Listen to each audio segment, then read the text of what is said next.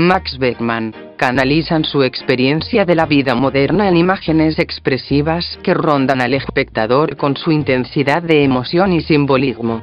A pesar de sus tempranas inclinaciones hacia el academicismo y el expresionismo, llegó a ser uno de los principales artistas relacionados con el movimiento de la nueva objetividad creado por mordaces críticas visuales al tumultuoso periodo de la entreguerra.